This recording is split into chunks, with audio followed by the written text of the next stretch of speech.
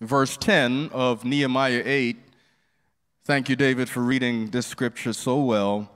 Verse 10 says, Then he said to them, Go your way, eat the fat, drink the sweet, and send portions to those for whom nothing is prepared. For this day is holy to the Lord. Do not sorrow, for the joy of the Lord is your strength. Let us pray. Heavenly Father, we would see Jesus, and we want to see him now. So speak to your people words that they need to hear. And may I not be seen, but may you be seen and glorified. In your name we pray. Amen. I've entitled our time this morning, Strong Joy. If you can stay with me for about 25 minutes, I promise not to hold you much longer than that strong joy. That word joy has many definitions. Um, there's one that catches my attention, and it says simply, the condition when that one feels or experiences when one receives exactly what he or she has desired. Joy comes. And there are many people who chase joy in all its forms in order to experience that which their hearts have desired. I want you to know today that there is joy in the most simplest of things. I, I, as I told the saints this morning in early service, I remember when there were simple things that used to make my son's eyes roll back in his head. I would throw him into the air and catch him. And his eyes would do backflips. And he would land back in my hand. And then he would say, Daddy, do it again. Anybody know about that? There's a whole lot of children up here. I know these parents, these parents that came up today, just you wait. They're going to wear your arms out. Daddy, do it again. Children have this marvelous, and by the way, I had to catch them, you know. Because if I didn't catch them, I wouldn't be alive to tell you this sermon today. I had to catch him because the wife would let me know if you dropped and she'd just be looking, Dwain, that's enough. Has the wife ever said that? And you know, it's enough. When she tells you stop, that's it. That's my child. I know that's your child, but that's my child and I would throw him up. Children have the marvelous ability to joy in the monotonous, to find pleasure in the simplest of things. But something happens to people as they get older. For some reason, our pleasure centers are not satiated by simple things. The pleasures and the joys have to be more complicated, more complex for us to experience that high. We see it every day. Right now, abroad in our land is, an, is a heroin epidemic of epic proportions. I saw a picture this week. I saw a picture this week that a police officer took of two parents in a car on the side of the road, passed out father in the front seat, wife in the, in, in, in the passenger seat in the front, and the child is in the back seat. And they're passed out. Officers had to apply a special drug to bring them back. I'm talking about pleasures now. This dear doctor right here could tell you stories that would make your stomach turn about what he is seeing in the, in the, in the uh, emergency room. The reality is, human beings are not satiated by simple pleasures after a while. They want more and more, and eventually they come to something that Charles, the great Charles Spurgeon, says they seek for pleasures on their bellies where the devil finds his. He says, in effect, that just as Satan was cursed and slithers around on his stomach. And the Bible says that the serpent finds his, his, his going about on his belly and, and, and he eats dirt all the day long. That's his curse. Human beings have a, a marvelous ability to get down where the animals are to find their pleasures, their joys. I want to tell somebody today, I want to tell you some places where you're not going to find it. I know everybody won't stay with me for the rest of this sermon. So let me tell you about some spots where you're not going to find joy. You will not find joy in unbelief. I want to be very clear. There are some people who think if I cast off all the stuff that I've been taught, if I put the Lord's commands and His strictures away from me, if I put myself out beyond where God can find me, I will have joy. I got news for you. There is no such place. And by the way, others have tried. Others better than you have tried. There used to be a man, an 18th century, century French writer by the name of Voltaire, who said, When I get done, there will be no God. That's what he said. I'm going to write God out of existence. And he aimed all of his gifts and his talents as a skeptic to tear God down. But he also wrote at the end of his life, I wish I had never been born. Some people think that it's an unbelief. Others think if I pursue pleasure unfettered, I'm going to be all right. I just want you to know it's been tried. It's been tried. Lord Byron, the great romantic poet, loved all kinds of people. He loved family folk.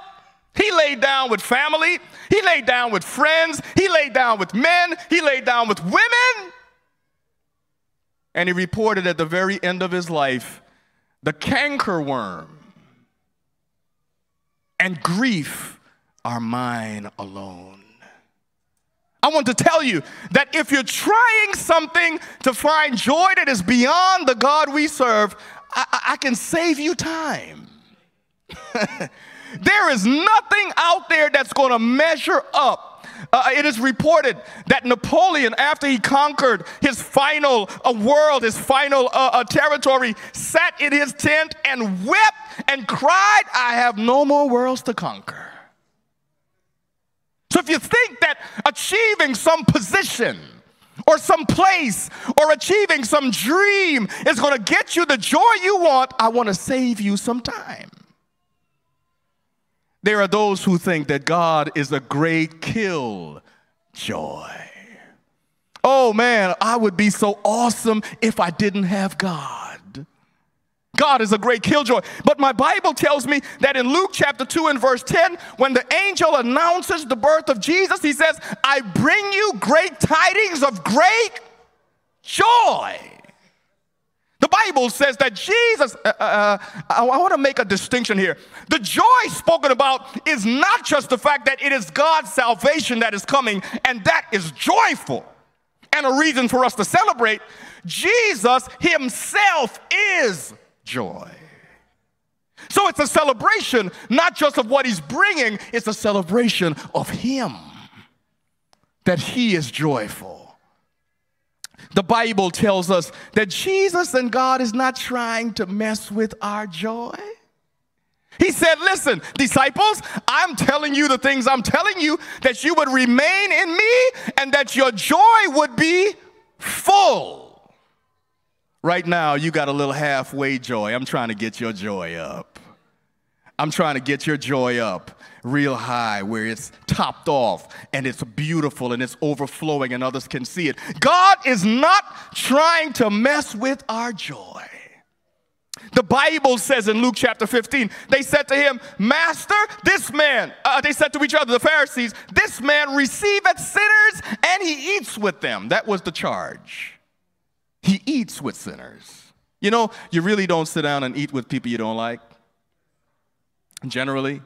Now, think about that for a minute. Jesus got accused of liking sinners.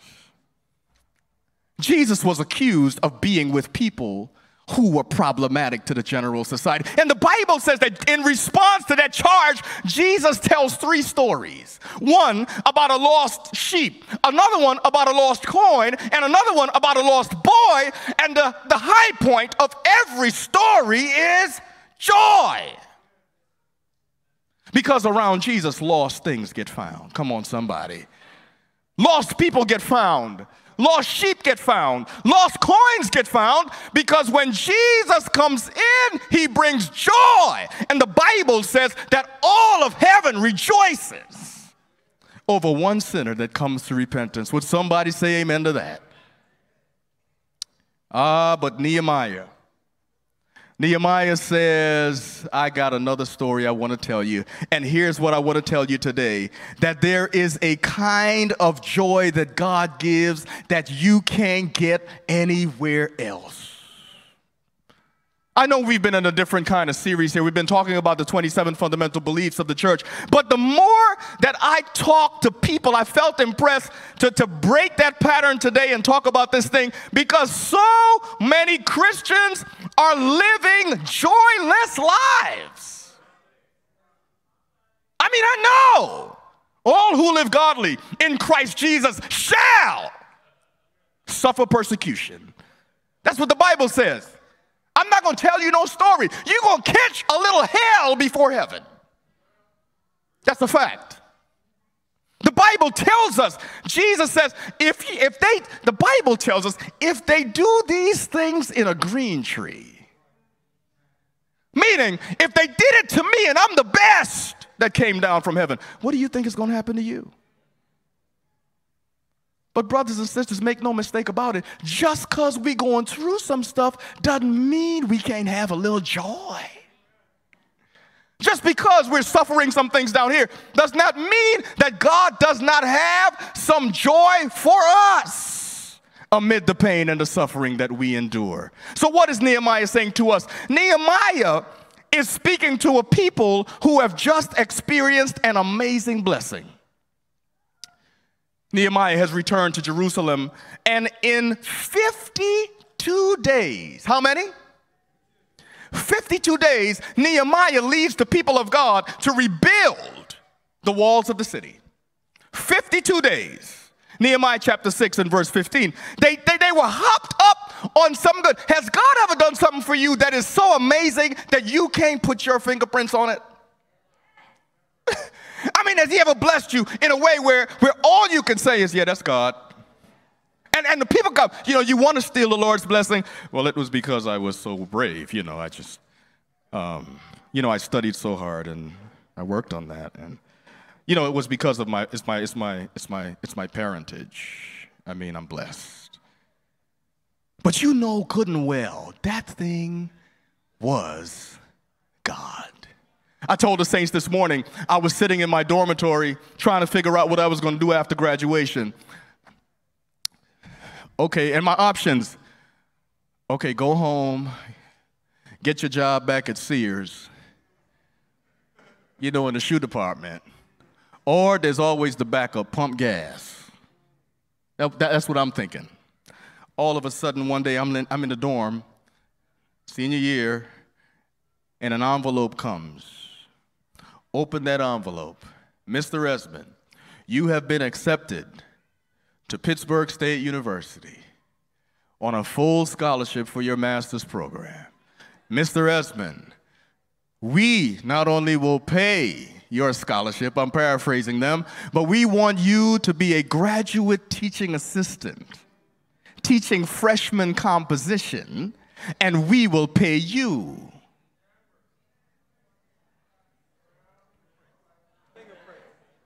I'm just saying. I want, I want to say it's because I was faithful.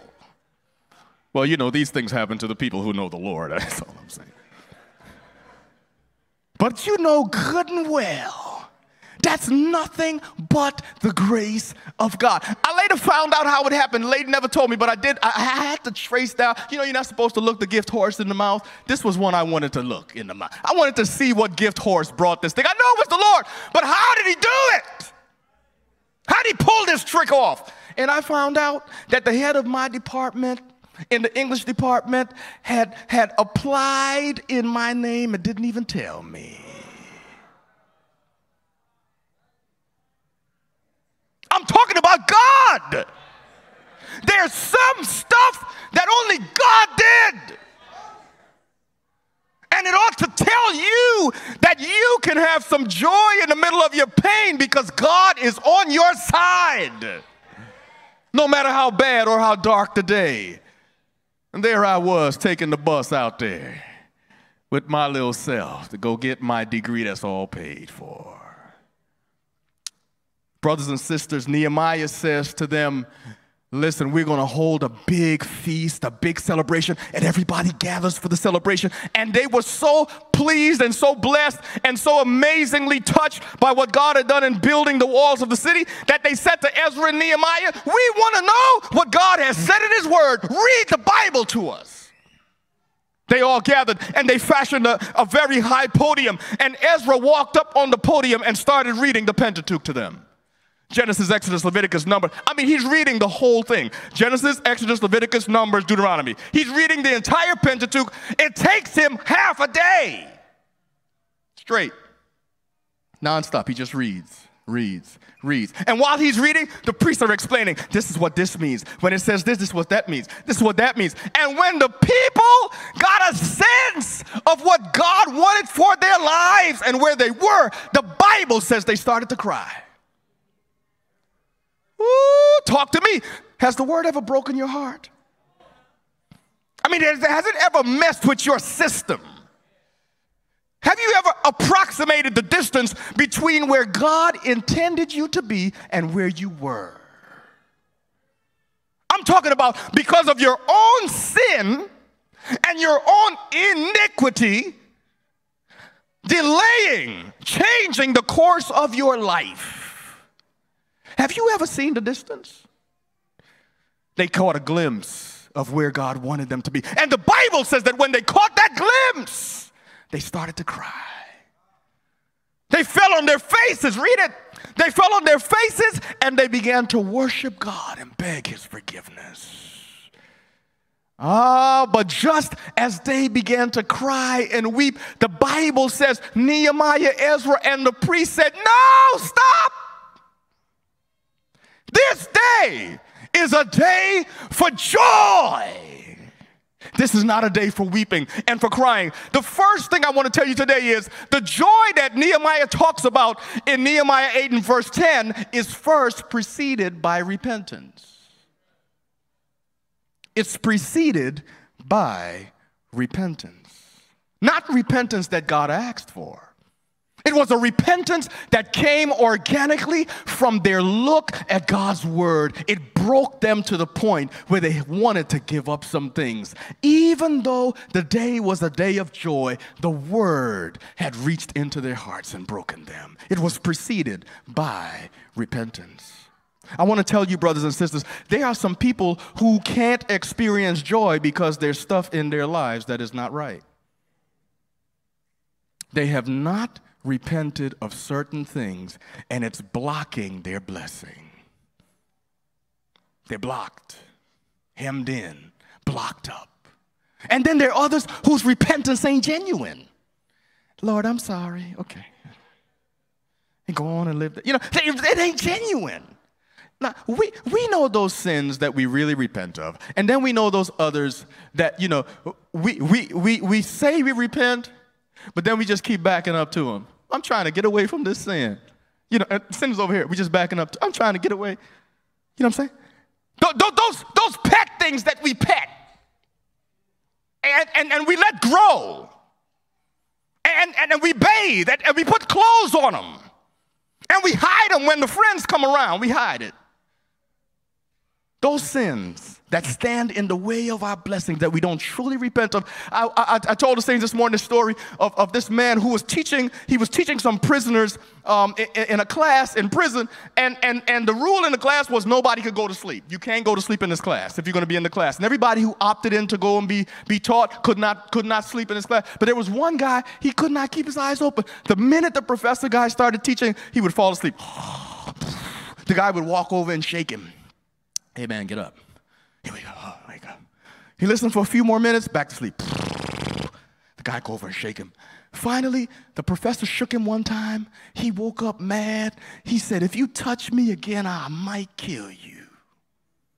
Professor said, Well, that's a good time to call the guards. I perceive we're going to have a problem here. So the professor, the professor calls the guards, right? The guards come, they take him, they throw him in solitary confinement for two weeks. They put him in a hole. He comes back. Are you ready to go back to class? Yeah, I'm ready, man. I ain't gonna sleep. He comes back to the class. He decides that he's gonna go to the professor and tell him he was sorry, repent, you know, I was wrong. He goes to the professor and he says, I said I might kill you. I didn't say I would kill you. I said might. that, that repentance ain't genuine. That joker liable to stab him the minute he got wake up. You know what I mean? That wasn't no genuine. Some of us, the repentance ain't genuine. But this repentance preceded, preceded by repentance, the joy was sweeter because everything was cleaned out. Point number two. Point number two. Not only was, was this joy preceded by repentance, this joy was provided by God.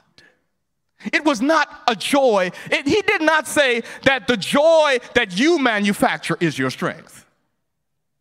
Uh, Nehemiah didn't say it's not, it's, it's, it's, it's the joy that comes when you're hanging with your family, that is your strength.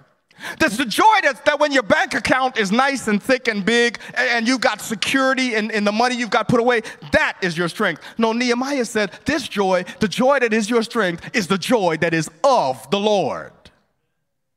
That's a very important point. Joy that is of the Lord is strong joy.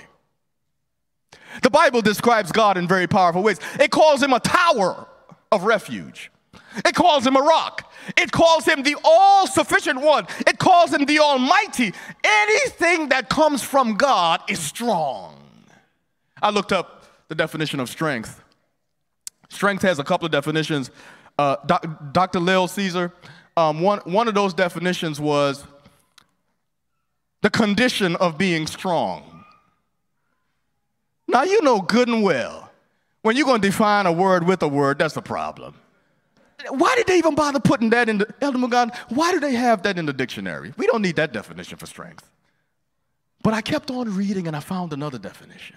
This one said, the condition or the ability to remain unmoved or unbroken by any external force the condition to remain unmoved or unbroken by any external force. Strength. I said, yeah, yeah, yeah. That's the one right there. The Bible is saying to us that when you are happy in the Lord, it gives you the capacity to remain unmoved and unbroken by opposing forces that come to us. Have you ever been in that situation where you met some forces you couldn't control? And the Lord raised up a standard against them. Come on, somebody. Raised up a standard and kept them at bay. I've been in that situation and seen God raise up his force. I remember one time I thought I was going to have to kill somebody one time. Not that other time I talked about. This was another experience. I'm not getting into it. I'm leaving that alone. I'm past that now. But I watched a guy that I thought I was going to have to fight because he was messing with my, it was my girl at the time. There I go again, right? And sure enough, I, I, I figured it was on the campus, man, at Oakwood College at the time. I figured, okay, the campus shrunk down. It was like gunfight at the OK Corral, me and him.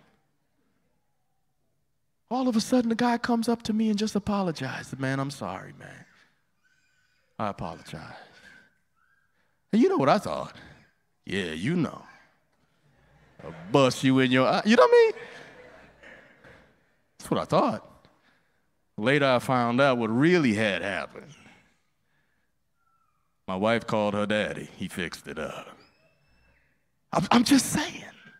Sometimes God does things for us that are absolutely amazing and leaves us unmoved and unbroken in the situation. That strong joy. But not only was this joy preceded, beloved, by repentance, not only was it provided by God, but the third thing and final thing I want to say to you is this joy is found in the province of holiness.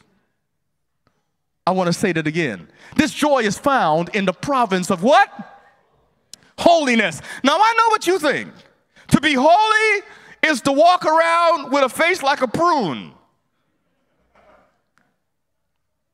Brothers, I have been with the Lord. Praise God. We have been having fellowship. Can't you see it on my face? Have you ever, you ever seen them people so holy that they haven't told their face? They holy, baby, but the face don't know it. It hadn't traveled up from the heart to the face yet. And so they look, and you look at him and you think to yourself, well, if that's what it looks like, I'm gonna just stay right where I am. I'm good. I'm good with that. But why is it that we equate certain things with holiness that are not even related? Um, and I'm not saying that it's wrong now to keep a nice, good, stern Christianity. I'm not saying if it works for you, I'm not going to knock you on it. I'm just telling you that there's another option where you can have joy that God and people can see on your face, and that is so infectious that people want what you got. Lord, have, have you ever been around people like that? Their, their, their joy in the Lord is so infectious, you can't wait to get around them.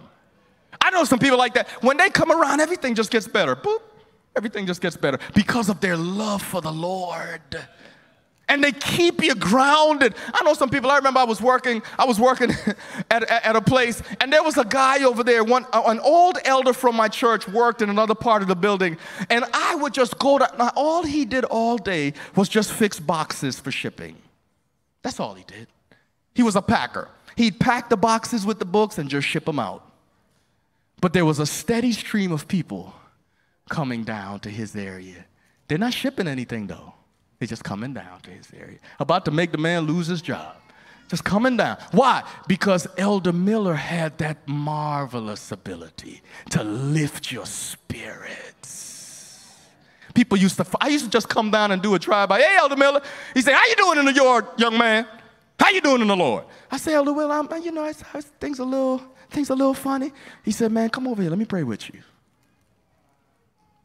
That's the kind of person, still that kind of person. I talked to my sister this week. Elder Miller has retired in Atlanta, Georgia with his family. My sister told me this week, I met this guy named Elder Miller. He is so nice. He is a blessing to me. Isn't that amazing? Christians who embody joy. Ellen White says in that wonderful book, Steps to Christ, chapter 13, rejoicing in the Lord, she says Jesus was a man of stern purpose. He was focused on what he came to do. But she says his countenance never bore the imprint of gloom or despair. Ever. She said that people would come around him and he would lift them up because he carried with him at all times faith, righteousness, joy, and gladness. Oh, mercy. I'm here to tell you, brothers and sisters, Christians who call him their father ought to have a faith that is so infectious and so beautiful that people want to be around them. And if you want to know whether you have it or not, I have a test for you. David Doggett, I got a test. You know what the test is? Children. If you want to know whether or not you really have joy, hang around children. If they run from you,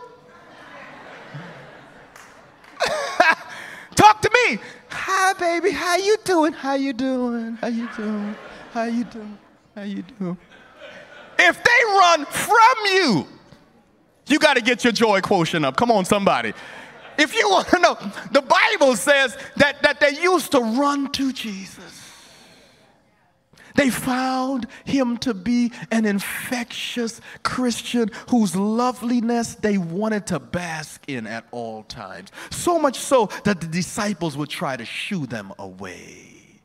How could a man preaching such a powerful gospel on the planet love little children so much that they feel comfortable in his presence? Why? Because Jesus was infected with joy.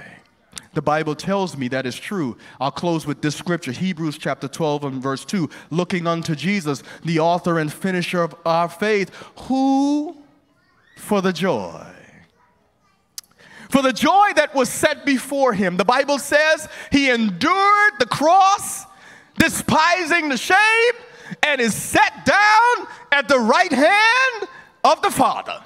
Jesus looked at the joy that would come from saving you and me, and he said, I could get through this cross. I'll make it. I don't care how bad it gets, I'll swim the ocean. I'll climb any mountain because this joy that is set before me is worth the pain. It's worth the pain because Dwain is going to have an opportunity to be saved. It's worth the pain. Oh, beloved, I don't know about you, but I get excited when I think about the fact that Jesus endured the cross for me. When we were running that marathon, it got a little tight. Did it get a little tight? So we, uh, how many know on marathon day things don't turn out as planned? Isn't that right? You're running along, ooh, okay, you're running, running, running. Then you hit some mile and something back here say, you know what I mean? And you say, well, I ain't never felt that. I didn't even know I had one of those. You know, that, that joint is tweaking and twirling and doing stuff. And you think, I'm, I'm just going to run that off, you know. I saw people, after a while, they were just like, You gonna make the bridge? Because you got to get to the bridge by a certain time, or they just pick you up. We'll send a car. Just stay right here. Okay, carry you in. Right? You got to make the bridge. You got some people. Preacher just told me one man paralyzed, running with an exoskeleton machine on his body. He ran the last 6.2 with the skeleton on. I saw another guy, no leg. One of his legs was gone.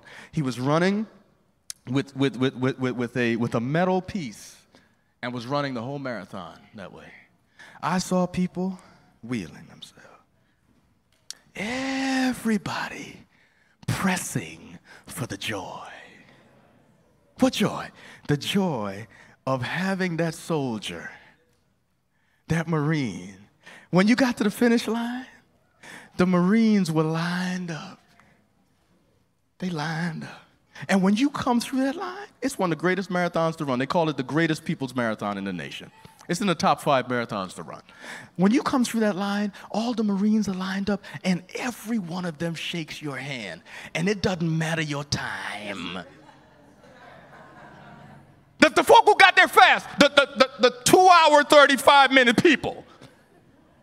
They done, and, and, and stand, one of them was done, rich, and came around cheering us on.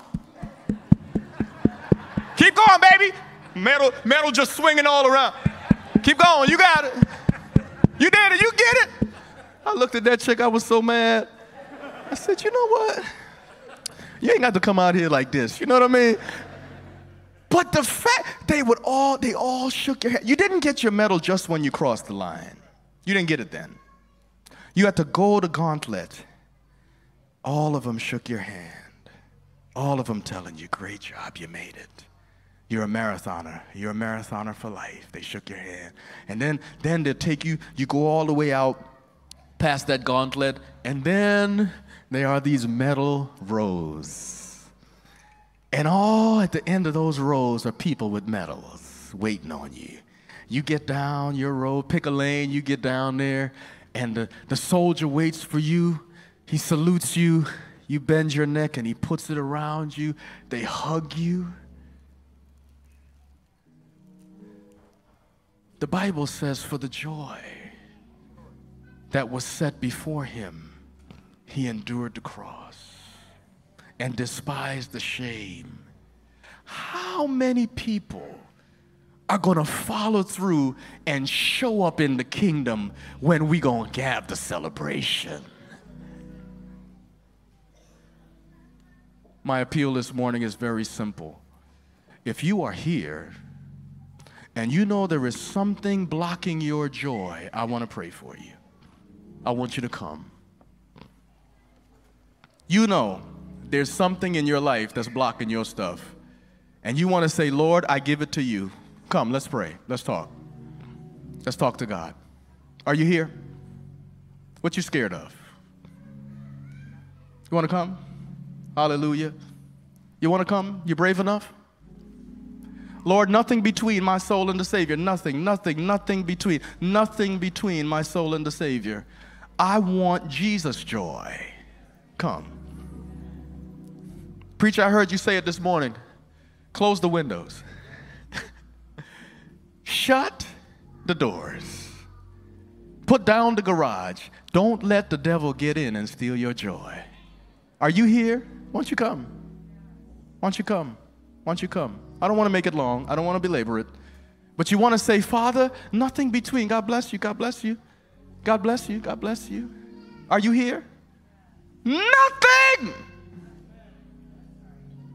He is meant to rejoice over you. Come. Come. There may be somebody here under the sound of my voice. There is some painful situation in your life that's messing your joy up. It's not some sin in your life, it's a situation in your home or in your job or something that has run off with your joy. If you are here and that is your challenge, come. Let's pray. Let's talk to God about it. Let's talk to God about it. He says, Let me tell you something. I, am not going to have any problem confessing you before my Father. Why do you have a problem confessing me before men? Come. Come. God bless you. God bless you. Come. Finally, this, this, this afternoon, maybe you want to say, you know what, Lord? Give me some of that stuff that Jesus had.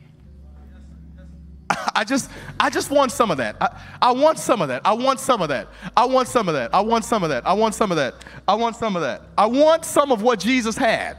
I want it. And I don't want to wait till heaven to get it.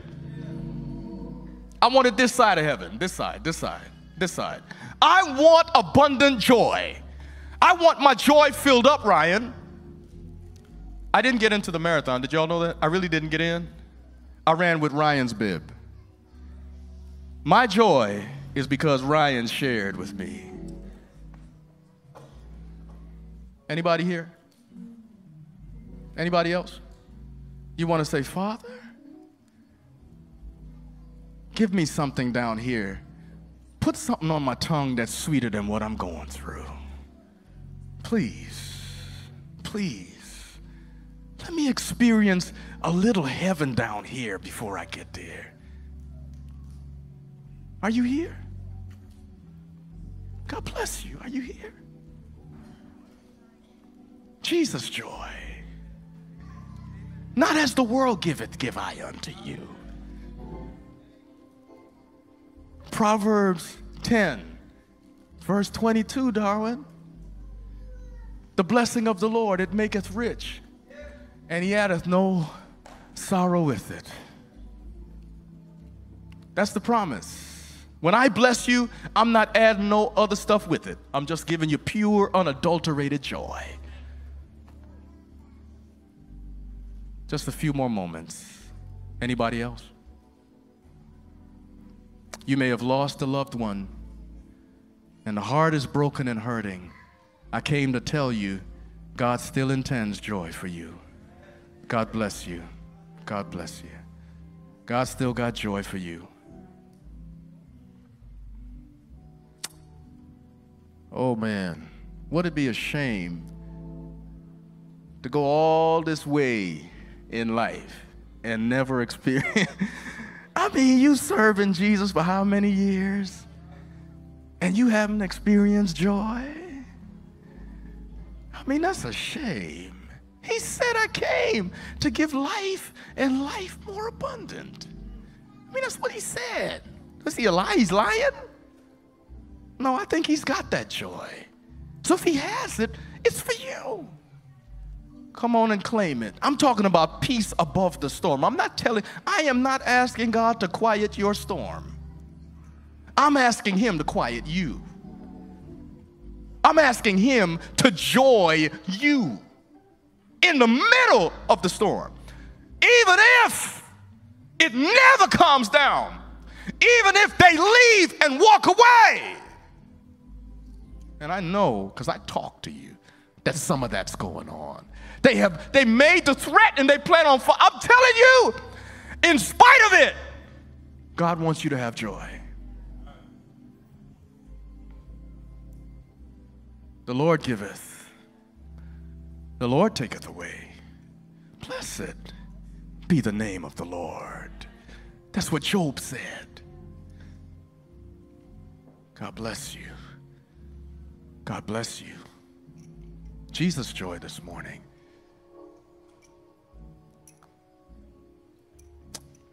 Let us pray. Gracious, loving Heavenly Father.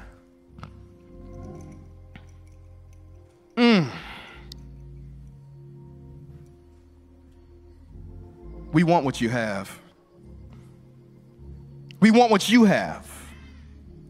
If you promised it to us, we want it. It would be a shame to have a gift for somebody and never give it to them. But God, that's not you. You're not some Indian, you know, you, you don't give and take back. You are not a God who refuses to give what you have promised. You keep your promises. So, Father, in the name of Jesus, I am asking you for those ones who have come, whatever their reason, I don't need to know it, you have cataloged it in heaven. They're telling you, Lord, they want something better than they have been through. They want something, God, that will uplift them, that will challenge them, that will walk them closer to you, that will give them peace above the storms in their lives. They're asking for Jesus' joy. Power, Lord, to ride over the storms in their lives. Power to lead tall trials.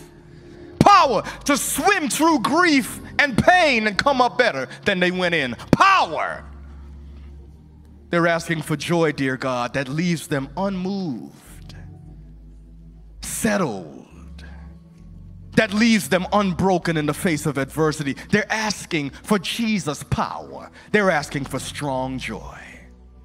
Father, I thank you in the name of Jesus that you have delivered it today. By faith, we claim the promise that that which God intends, no one can stop. I'm asking you, Jesus, in the name of Jesus, God, do a work in the lives of these who have come. Help them to know beyond a shadow of a doubt that you have given them what their hearts have desired. I pray, Father, that they will not doubt when the feelings come that something happened today and they're not sure about it, and the devil whispers to them that nothing has changed, help them to walk in newness of life. To trust God that what you have done, you have indeed done, and that they can walk in the assurance that they have your joy. And those, Lord, who are sitting, I know, Father, that there are many who couldn't bear to come up this way, or maybe everything is all right. I thank you, Father, for the joy they have. But if there's anything, Lord, that is not right in the lives of those under the sound of my voice who have remained, I pray, God, that you will fix it. That they will experience your forgiveness on your goodness, and that they will turn their entire lives over to you. And then, Father, when you come and you whisk us from this planet all the way to glory, the party is going to be something special. And it's going to be holy. For not only will it be preceded by our repentance, not only will we have lived in the joy that you have provided, but in that moment, joy will be in the province of holiness. Thank you, Father. In the name of Jesus, we pray. Let everyone say, Amen. Amen. God bless you. God bless you. God bless you. Brothers and sisters, it really did happen. Don't doubt. God bless you.